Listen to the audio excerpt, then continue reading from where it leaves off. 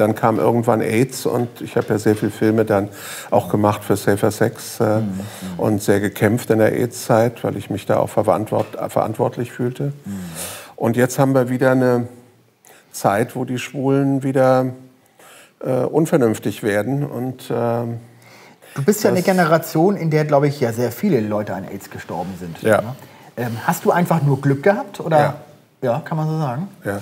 Ich habe mich nicht, ähm, nicht so gern ficken lassen. Also ich glaube, das ist das Entscheidende. Also ja, ja, ja, klar. Passiver Analverkehr, der, die Schleimhaut ist da sehr äh, zerbrechlich, äh, sehr dünnhäutig und die Vaginahaut ist viel, also als Hetero ist das viel schwerer, sich anzustecken, wenn du vaginalen Kontakt hast. Aber Analverkehr ist eben sehr gefährlich, mhm. wenn infizierter Samen da reinkommt. Und äh, dadurch äh, hatte ich Glück gehabt, dass ich mhm. sozusagen da. Ich war auch befreundet zu der Zeit und ähm, mhm. habe dann auch eine große Panik bekommen, als ich von der Krankheit hörte und war sehr vorsichtig. Mhm. Ja, das ging ja erstmal los, dass man gar nicht genau wusste, was ist das überhaupt. Es wurde, glaube ich, erstmal als Schwulenkrebs bezeichnet, bevor man mhm. überhaupt diesen Begriff AIDS irgendwann äh, dafür gefunden hat. Ähm, wie ging das damals los? Also da gab es irgendwann plötzlich gab es die ersten Fälle von so einer unheimlichen Krankheit? Oder? Ja, es war das erste war so 1971 gab es einen Bericht, äh, 81, ja. Entschuldigung, 81 gab es einen Bericht in der New York Times über eine Krankheit, die wohl hauptsächlich Schwule betrifft oder so. Und dann haben sich dort auch dann gleich Leute zusammengefunden. Ich habe ja dann äh, Mitte, Ende der 80er Jahre in New York, ich war ja lange in Amerika, habe ich dort politisch teilgenommen und äh, da, die haben sich sehr schnell organisiert und äh, haben versucht aufzuklären und äh, haben versucht auch die Pharmafirmen zu zu drängeln, dass da irgendwie weiter geforscht wird, dass der Staat auch Geld gibt. Damals war Reagan sehr ignorant, der das Wort AIDS erst sehr spät in den Mund genommen hat und so weiter. Mhm. Also es war eine sehr kämpferische Situation und äh, das konnte ich dann auch filmisch dokumentieren. Mhm. Es ist ja bis heute auch nicht klar, woher das im Prinzip kommt, ne? was der ganze Ursprung dieser Krankheit eigentlich ist. Da ja, gibt es ja verschiedene Theorien. Ja, also ich meine, da gab es schreckliche, blöde äh, Theorien. Ja, ja, ne? sicher. Natürlich. Aber ich meine natürlich, man weiß, dass es dieses HIV-Virus gibt, dass man das auch dann durch einen Test nachweisen kann und äh, dass man sich schützen kann vor allen Dingen, ich meine mit Kondomen. Ja klar, natürlich. Und äh, das äh, hat natürlich sehr geholfen. Mhm. Ja, aber woher dieses, wie dieses Virus entstanden ist, das meine ich jetzt. Das Ob das aus einem Labor von der CIA kommt? Oder? Ja, ich habe ja so ein bisschen, nee, aus dem Labor glaube ich nicht. Also das sind alles so Verschwörungstheorien. Ja, ja. Ich glaube schon, dass das, also man sagt ja, dass in Afrika das irgendwie ich habe ja da so Parodien gemacht, wo eine AIDS-Forscherin vom Affen gebissen wurde und dann angesteckt wurde und so. Also in Ein Virus kennt keine Moral. In meinem Film war das ja eine Komödie über AIDS, mhm. ähm, wo wir vieles verarscht haben, aber gleichzeitig eben auch aufklären wollten und für Safer Sex werben wollten. Denn es äh, hilft ja nun nicht zu wissen, wie was woher kommt, sondern es hilft, dass du es nicht kriegst und dass du dich schützt und dass du dich nicht ansteckst. Und die Situation jetzt heutzutage ist ja wieder, dass Leute also ein Mittel nehmen, PrEP nennt sich das, das sozusagen eine Ansteckung verhindern kann. Die, das ist aber noch nicht so lange auf dem Markt und äh, äh Insofern weiß man nicht, wie schädlich das ist, aber viele, die dann nachts also dauernd rumlaufen, und äh, ficken die oder sich ficken lassen, die nehmen dieses Mittel und sie können und sind ungeschützten Sex und können natürlich andere Krankheiten kriegen, also kriegen dauernd Tripper oder Syphilis oder mhm. Hepatitis C oder so. Äh, ich finde das alles sehr unverantwortlich und äh, äh, ja, es müsste im Grunde genommen wieder so eine größere Gesundheitskampagne wieder, äh, dass man dass Leute einfach da wieder vorsichtiger sind. Was glaubst du, wie erreicht man denn Leute mehr zum Aufrütteln? Äh, durch Provokation oder durch äh, so eine ruhige Gelassenheit und Aufklär um, um, da irgendwie aufklärerisch zu sein? Funktioniert Provokation noch so wie in den 70ern? In der Provokation äh, immer. Es guckt dir Trump an. Ich meine, der ständig provoziert oder so. Äh, nein, das äh, gibt ja viele Methoden. Wir haben ja damals bei Safer Sex Kampagnen, hatte ich vorgeschlagen, dass man eben Entertainer in den Darkroom, also da, wo Sex gemacht wird, wo Schwule Sex machen, dass man da Sänger reinschickt und, und äh, Entertainer und dass die Leute miteinander reden. Mhm. Es ist ja ein Film auch von mir, heißt, das ist dieser Slogan der AIDS-Bewegung Schweigen gleich tot.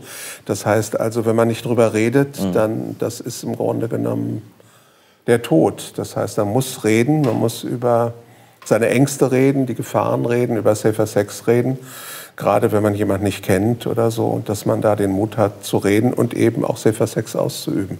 Und ich finde, das ist heute genauso wichtig, weil ich habe 30 Mal Tripper gehabt in meinem Leben äh, und weiß, dass, und damals waren die Spritzen noch recht dick und so, und man, das war immer sehr schambesetzt und so. Und seitdem ich Kondome nehme, bin ich pumperl gesund sozusagen. Ich meine, es ist so allgemein bekannt, dass es gefährlich ist. Also das muss man, da muss man auch jetzt nicht mehr groß aufklären. Äh, wenn, wenn, man mit einem Fremden äh, Sex hat, dann, ist, dann hat man halt das Risiko. Genauso wie ich immer über eine rote Ampel gehen würde. Irgendwann geht es mal schief. Naja, also, also in, ich meine, in großen Städten hast du eben die ganzen Sexclubs. Jetzt eben, das hat sich ja dann auch bei Heteros rumgesprochen. Und da wird dann meistens ohne Kondome, viele Vögeln ohne Kondom. Und wie gesagt, wenn Sie dann das PrEP nehmen, denken Sie, sind Sie geschützt, aber Sie sind nicht vor anderen Krankheiten geschützt. Das wäre eigentlich noch mal eine Riesendiskussion, die man mhm. aufmachen müsste. Mhm. Äh, und ähm, gerade für junge Leute, die neu in die Szene kommen. Ne? Man, da tut es mir immer leid, wenn die sich dann ja, schneller, mhm. relativ schnell anstecken oder so mhm. und einfach kommen aus der Provinz, so wie in meinem Film, nicht der Homosexuelle ist pervers, aus der Provinz in eine Großstadt, holen das nach, was sie in der Provinz nicht machen konnten. Und dann ähm, geht das mit Drogen, Alkohol, weiß nicht was und viel Sex. Mhm. Äh, und das macht natürlich nicht so glücklich. Also du wirst dann schon nach einer gewissen Zeit depressiv, weil du das ja auch nicht genießt im Grunde genommen. Mhm. Ne? Wenn das mhm. zu viel ist und zu anonym ist. Viele wünschen sich ja dann doch einen Freund. Ich wollte noch mal auf ein anderes Thema kommen, weil das natürlich vor 25 Jahren ungefähr ein Riesenskandal äh, war, um es mal so auszudrücken. Du hast nämlich äh, Alfred Biolek und Harpe Kerkeling geoutet in, ja. einer, in einer, Talkshow bei RTL, wo ja viel äh, Diskussion dann äh, darum kam, ähm, wobei jetzt nicht Biolek oder Harpe Kerkeling diejenigen waren, auf die sich das denn sozusagen bezog, sondern eigentlich warst du ja der, derjenige, der Verräter, der, Verräter. Ne? der für ihn alle sauer waren. Genau, ja. Hm. genau. Ja, den beiden hat es ja gut getan. Ich meine, die Popularität ist ja gewachsen und sie fühlten sich auch befreit.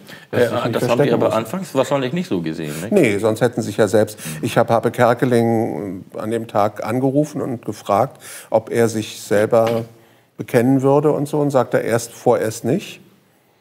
Und äh, Biolek kannte ich ja ganz gut und äh, ja, ich meine, die hatten Angst und äh, die Angst habe ich ihnen genommen. Das war sicher unanständig.